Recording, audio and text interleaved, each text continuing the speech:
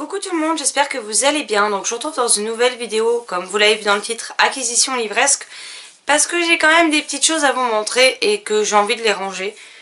Comme vous pouvez voir, le décor a changé. Je suis simplement euh, sur le mur en face de là où je tourne d'habitude dans mon fauteuil avec les bibliothèques en fond. Mais voilà, tous les livres sont posés sur le canapé. Donc, euh, sachant que c'est pas le canapé principal, hein, l'autre on l'a toujours dans le salon. On a rajouté un petit BZ ici, donc euh, voilà et que tous les livres sont éparpillés autour de moi. Donc c'est clairement plus simple que de bouger mes piles dans tous les sens. Et puis j'ai envie de me vautrer un petit peu sur le canapé aussi. Donc voilà.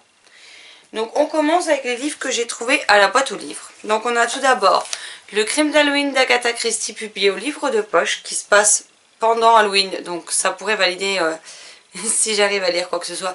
Euh, mathématiques pour mon propre challenge Halloween qui est très mal barré, hein, soyons honnêtes. Voilà, voilà. Mais pour ma défense, quand je l'ai créé mon challenge Halloween, bah, je ne travaillais pas encore. Et vu que c'est arrivé en un claquement de doigts, et ben j'avais pas prévu ça. Et j'avais pas prévu que je mettrais aussi longtemps à reprendre un rythme de lecture, donc voilà.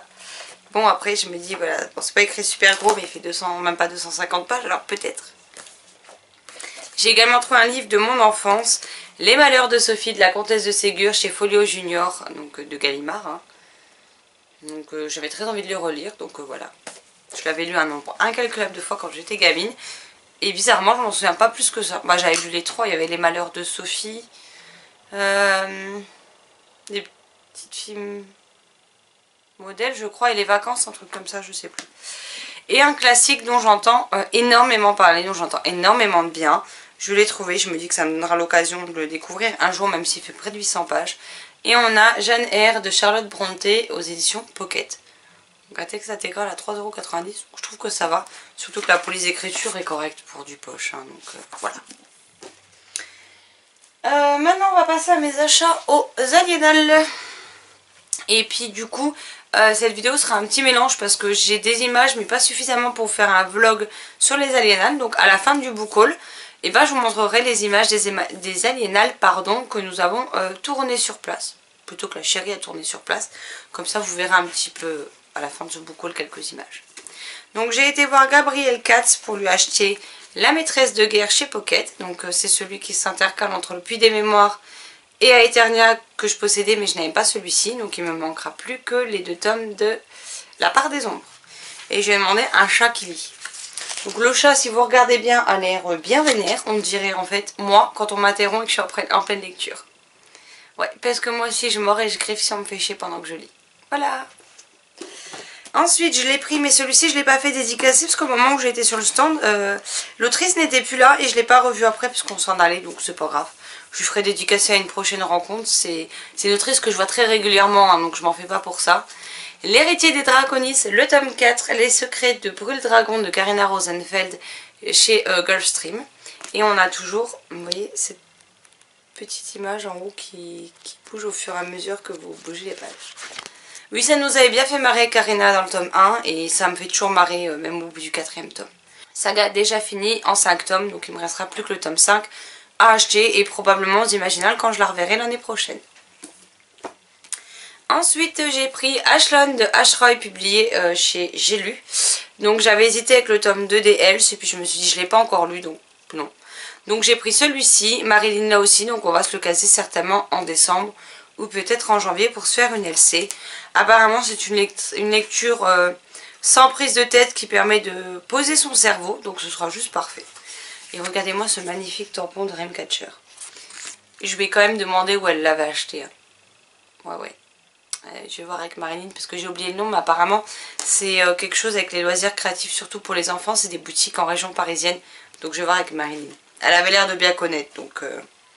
Un livre que je cherche depuis longtemps en salon pour le faire dédicacer par son auteur et qu'à chaque fois il est en rupture de stock. Donc là, il, y en avait et je me suis jetée dessus. On a Engrenage et Sortilège de Adrien Thomas chez Rajo. Regardez-moi cette couverture juste canonissime. Et je l'ai enfin dédicacé. En plus, euh, il a gagné le prix des, des aliénales. Je veux dire des, des aliénales. Euh, je sais plus, je sais pas pour ce roman là d'ailleurs, je ne sais plus. Mais ce roman a gagné également le prix Babelio, donc voilà. Ensuite, j'ai acheté Là-bas tout ira bien que vous aviez vu dans mes acquisitions, dans mes, pas dans mes acquisitions, non. Dans mes euh, envies livresques. Désolée, j'ai un truc dans l'œil. Ah, ça me pique. De Pascal Perrier et Sylvie Bossier chez Scrigneo. Donc les deux autrices étaient là, ce qui fait qu'elles me l'ont gentiment dédicacé toutes les deux. Et voilà, il me faisait très envie. Ça a l'air d'être du post-apo et en France. Et j'ai terriblement hâte de le découvrir. Et le dernier qui me fait envie depuis sa sortie euh, en novembre 2018. Il m'a fallu presque un an avant de craquer pour de bon. Mais l'autrice était présente, donc clairement je n'ai pas hésité.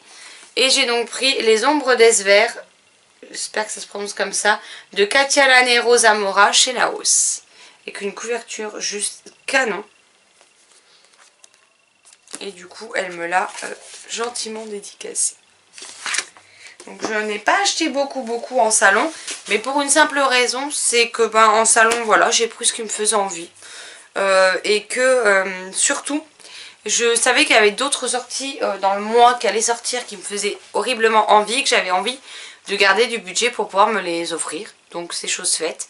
il en manquera juste un parce que je l'ai commandé, ils ne l'ont pas encore. Donc j'étais tout à l'heure voir mais ils ne l'avaient pas encore. C'est pas grave, vous le verrez dans une prochaine vidéo. De toute façon, vous le verrez en point lecture je pense, euh, assez rapidement quand je l'aurai eu. Donc voilà. Ensuite, Marilyn m'a gentiment donné deux livres. Donc elle m'a donné Je m'appelle Mina et j'adore la nuit. Tout semble possible la nuit quand le reste du monde est endormi.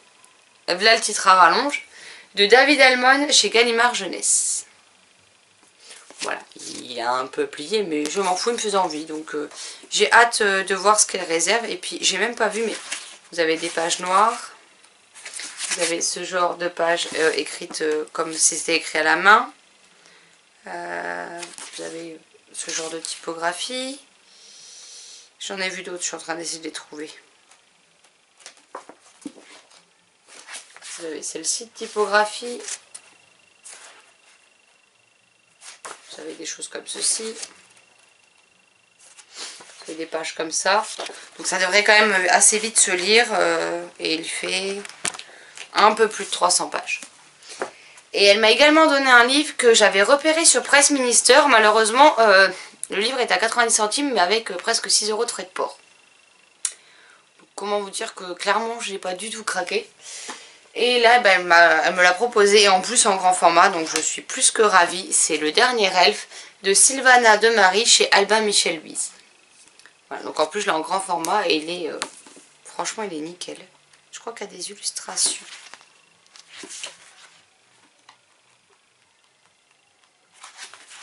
Voilà. Donc hâte de voir ce que ça peut donner, mais le résumé euh, m'intéressait bien, donc euh, voilà. Comme d'abord, je vous liste les titres et les auteurs et les maisons d'édition en barre d'infos, donc n'hésitez pas à aller voir. Ensuite, je vais passer au livre que Marilyn m'a prêté. Oui, de tous ceux qu'elle m'a prêté à la fois, j'en ai lu deux que je lui ai rendus. Et ben Marilyn s'en fout de vider ses étagères pour que ça intéresse chez moi. Donc elle m'en a reprêté très gentiment. Et euh, il y en a un que je pense que je vais lire ce week-end parce que trop envie et court et c'est écrit gros. Donc elle m'a prêté L'enfant d'Ouradour de Régis Delpeuche publié chez Scrinéo. Donc il fait 130 pages, écrit comme ceci. Euh, c'est une partie de l'histoire que je n'ai pas du tout étudiée euh, à l'école, collège, lycée, peu importe.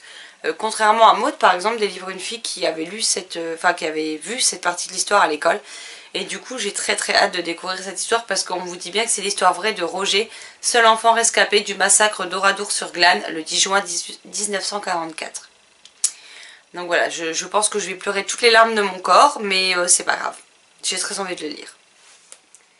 Elle m'a également prêté Swimming Pool de Sarah Crossan chez Rajo. Donc qui est beaucoup plus court pour le coup que Inséparable.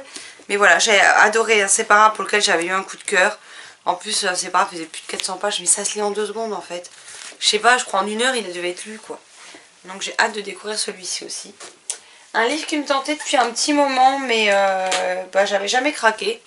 J'ai malheureusement appris juste derrière le décès de l'autrice. Donc c'est Dysfonctionnel de Axel Sandre chez euh, Sarbacane, dans la collection Exprime.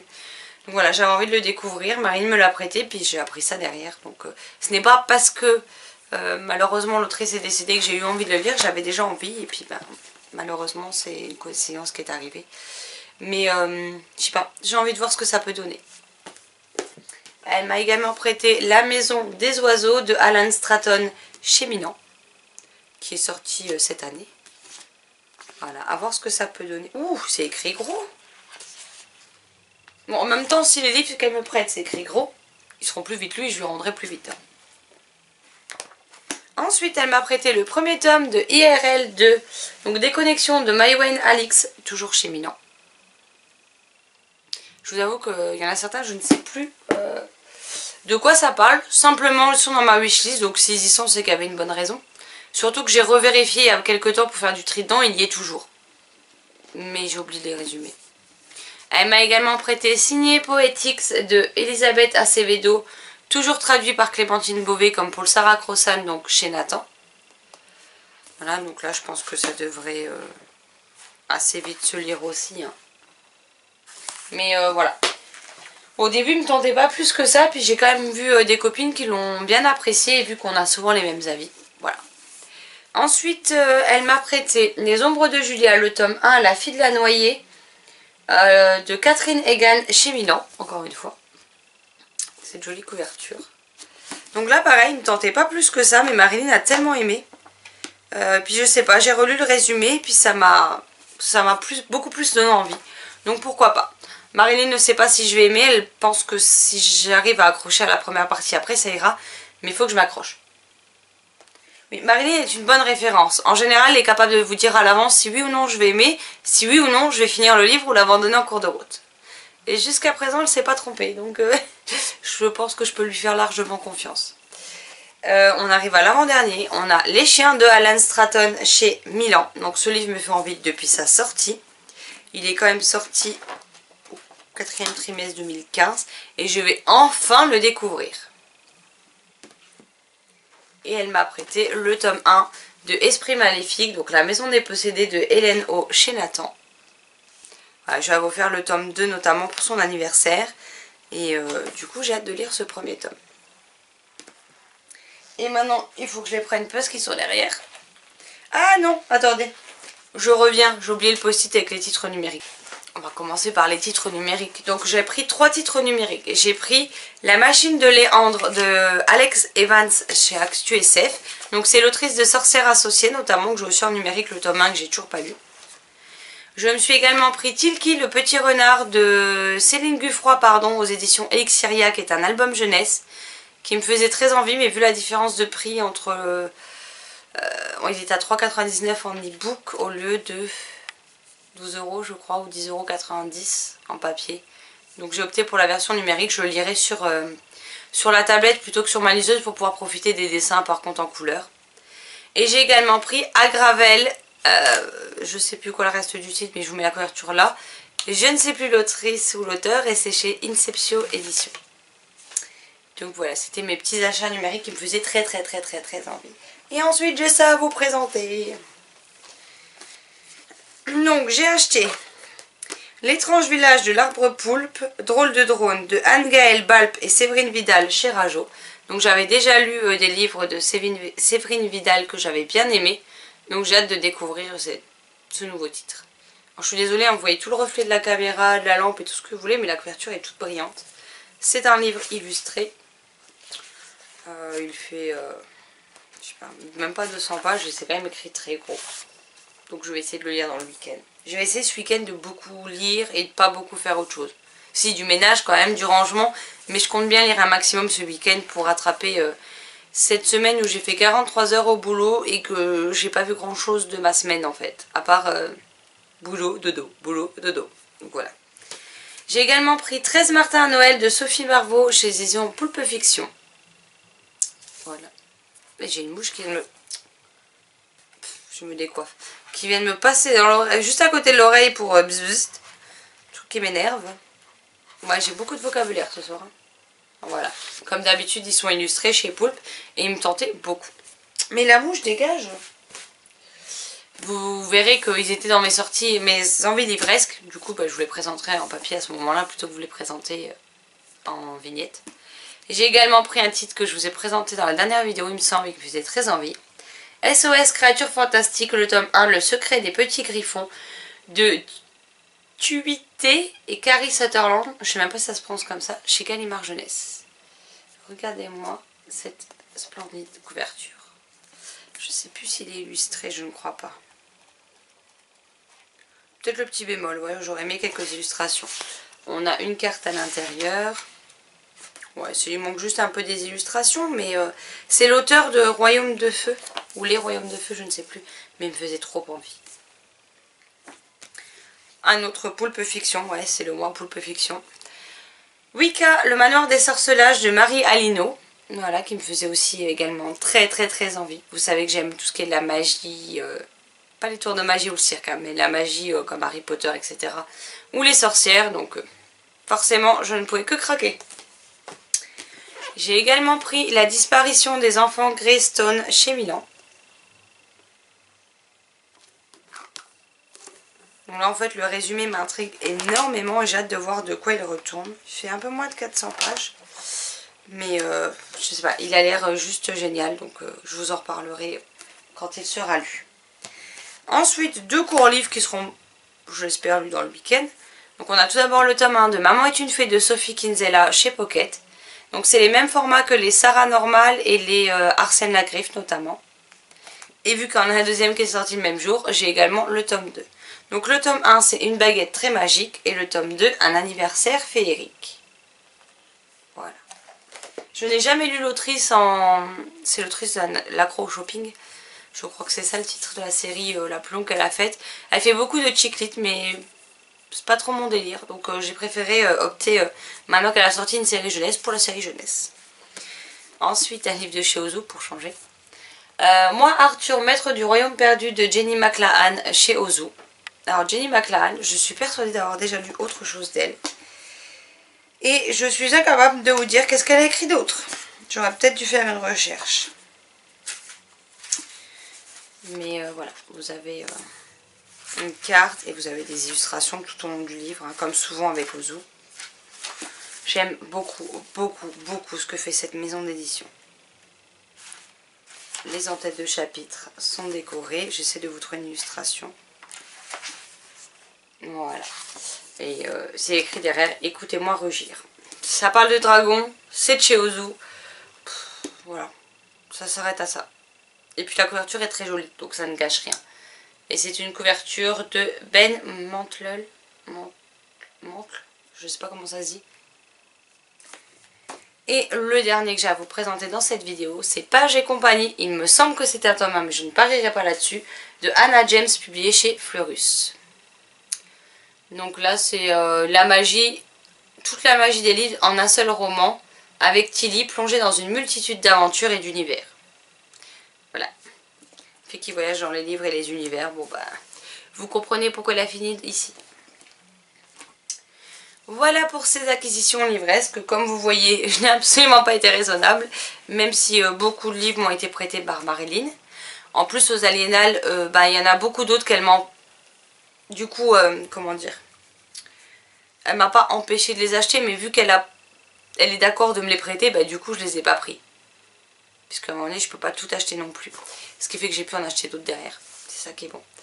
Et du coup, bah moi, je, si en a qu'elle veut, bah, je lui prêterai volontiers avec parce que je en emprunte beaucoup plus que ce qu'elle ne m'emprunte. Voilà, voilà.